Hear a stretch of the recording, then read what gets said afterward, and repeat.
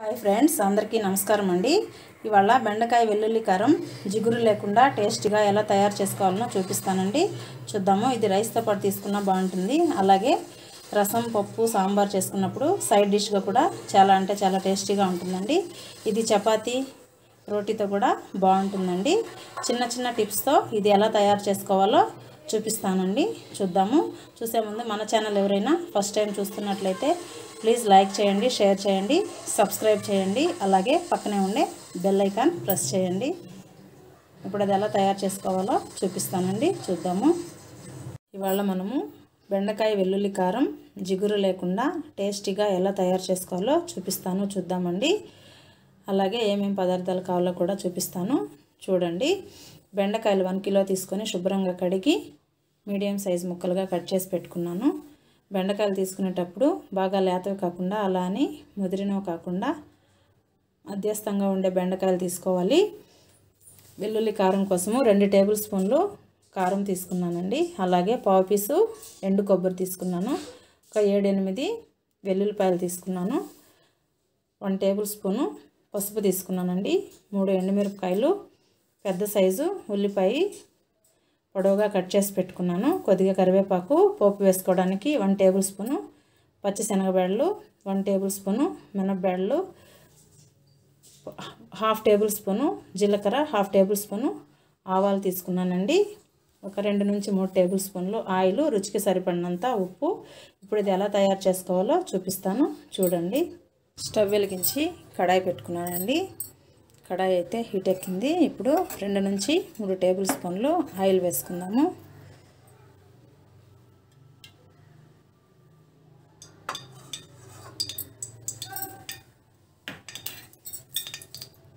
Oil heat ఎక్కిందండి. ఇప్పుడు తాలింపు గింజలు వేసుకుందాము.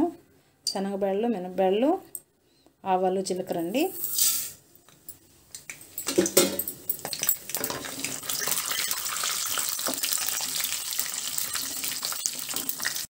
ఇవి కొద్దిగా వేగాయండి. ఇప్పుడు ఒక్కలు ముక్కలుగా దంచుకున్న వెల్లుల్లిపాయ ఎండుమిరపకాయలు కూడా వేసుకుందాము.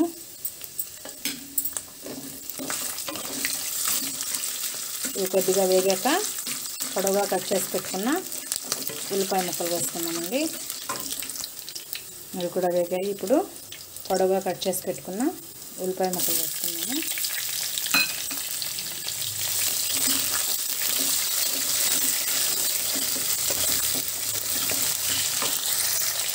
ఇందులోనే కొద్దిగా కరివేపాకు కూడా వేసుకున్నామండి.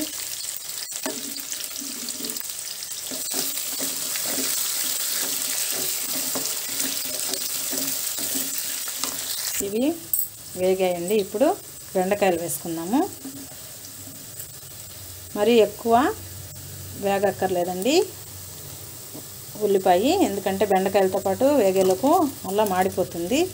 అందుకే ఈ మాత్రం వేయించుకుంటే సరిపోతుంది. ఇప్పుడు మనం కట్ చేసి పెట్టుకున్న బెండకాయ ముక్కలు వేసుకుందాము.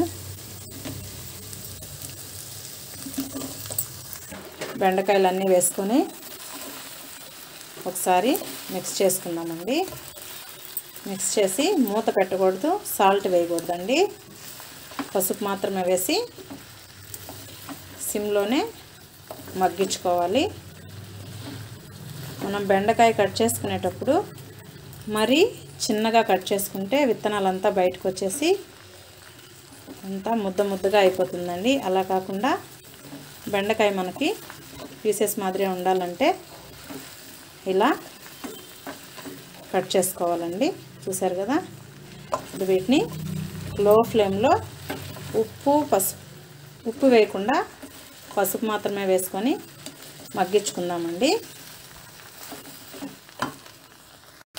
వన్ టేబుల్ స్పూను పసుపు వేసుకున్నామండి పసుపు వేసుకొని ఒకసారి మిక్స్ చేసుకొని మగ్గించుకోవాలండి. మూత మాత్రం పెట్టొద్దండి. మూత పెడితే ఆవిరంతా మూతకు పట్టి ఆ వాటర్ అనేది దిగేసి బాగా జోమ్జోమ్గా అయిపోతుంది. జిగురు వచ్చేస్తుందండి వేపుడు. మూత లేకుండానే వేయించుకోవాలండి వీటిని. అప్పుడు మనకి కలరు చేంజ్ అవుతూ చాలా అంటే చాలా బాగుంటుంది. ఒకసారి మీరు ట్రై చేయండి. ఒకసారి మిక్స్ చేసుకుందామండి. చూడండి ఎంత చక్కగా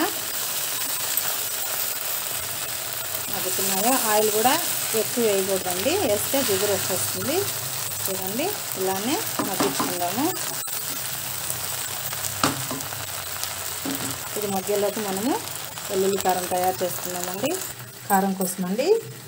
ముందుగా కొబ్బరి వేసుకోవాలి. కట్ చేసి పెట్టుకున్నాను. ఈ కొబ్బరి గ్రైండ్ చేశాక కారం వేసుకున్నామండి ఈ విధంగా పౌడర్ చేశాక ఇప్పుడు కారం వేసుకోవాలండి. మీరు ఎంత తినగలిగితే అంత వేసుకోండి. ఇప్పుడు ఇందులోనే వెల్లుల్లిపాయలు కూడా వేసి ఒకలు ముక్కలుగా గ్రైండ్ చేసుకోవాలండి. పొట్టుతోటే వేస్తే మంచి టేస్ట్ ఉంటుంది. పొట్టుతోటే వేస్తే టేస్ట్ ఉంటుంది. అలాగే ముద్ద అవ్వకుండా మీకు పొడి పొడిగా ఉంటుందండి. పౌడర్ అనేది కారం రెడీ అయిందండి. ఈ విధంగా కారం అయితే రెడీ చేసుకున్నాను. ఇప్పుడు బెండకాయ ఒకసారి చూద్దాము. మరోసారి మిక్స్ చేసుకున్నామండి చూడండి కొద్దిగంటే కొద్ది కూడా జిగురు అనేదే లేదు కదండి. మనం ఫస్ట్ వేసుకున్నప్పుడు కొద్దిగా జిగురుగా అనిపిస్తుందండి. మగ్గంగా మగ్గంగా మనకి కొద్దిగంటే కొద్దిగా కూడా జిగురుగా అనిపించదండి. తక్కువ ఆయిల్తో జిగురు అనేది లేకుండా నేను చెప్పిన టిప్స్తో చేసినట్లయితే మీకు బెండకాయ ఫ్రై అనేది చాలా అంటే చాలా టేస్టీగా ఉంటుందండి. మనం ఫస్ట్ వేసుకున్నప్పుడు పసుపు వేసినప్పుడు కలిపినప్పుడు కొద్దిగా జిగురు అనిపిస్తుందండి. ఇది వేగంగా వేగంగా మనకు జిగురు అనేది తెలీదు. మరో రెండు నిమిషాలు మగ్గించుకొని మనము తయారు చేసి పెట్టుకున్న కారం వేసుకున్నామండి చూసారు కదా? జిగురు ఎక్కడైనా మీకు కనిపిస్తుందండి లేదు చూడండి. మరోసారి మిక్స్ చేసుకుందామండి. ఇప్పుడు సాల్ట్ యాడ్ చేసుకున్నాము చూడండి ఎయిటీ పర్సెంట్ వరకు బాగా మగ్గిపోయిందండి. ఇప్పుడు సాల్ట్ వేసుకున్నాము సాల్ట్ ముందుగానే వేసుకుంటే ఇంకా ఎక్కువగా నీళ్ళు అనేది ఊరి ఇంకా జిగురు ఎక్కువ వచ్చేస్తుందండి. రుచికి సరిపడినంత సాల్ట్ వేసుకున్నాము సాల్ట్ వేసుకుని ఒకసారి మొత్తం మిక్స్ చేసుకున్నామండి ఒక్క పీస్ కూడా మెత్తగా అవ్వలేదండి చూడండి. ముద్ద ముద్దగా ఎక్కడ ముద్ద అనేది అవ్వలేదు ఒకసారి మొత్తం మిక్స్ చేసుకున్నాము మనం ముందుగా రెడీ చేసి పెట్టుకున్న కారం కూడా వేసుకున్నామండి.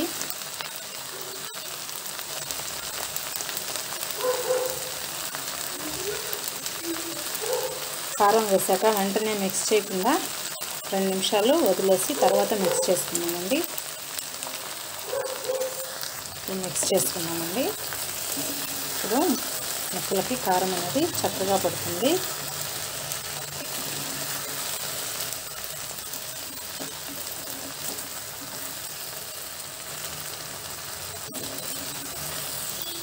కారం వేసుకున్న తర్వాత ఒక రెండు నిమిషాలు లో ఫ్లేమ్లో ఉంచి స్టవ్ ఆఫ్ చేసుకోవాలండి. ఎప్పుడైతే రెడీ అయిందండి ఇప్పుడు బౌల్లోకి తీసుకొని సర్వ్ చేసుకుందాము. చూసారు కదా జిగురు లేకుండా ముక్క చెదరకుండా ఎంత చక్కగా రెడీ అయిందో ఇప్పుడు ఇది ఒక ప్లేట్లోకి తీసుకొని సర్వ్ చేసుకుందామండి.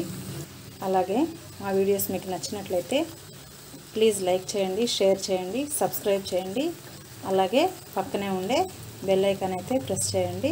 థ్యాంక్ యూ అండి. మరో మంచి వీడియోతో మేము ఉంటాను. Thank you.